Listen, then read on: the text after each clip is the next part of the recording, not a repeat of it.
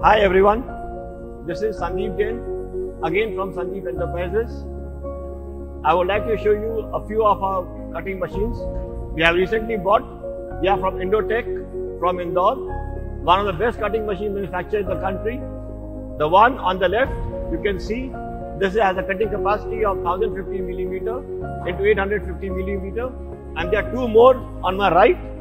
One is a 300 millimeter automatic, and the one behind me is 550 by 750 millimeter. These are the new ones, the top of the line and the best. Thank you.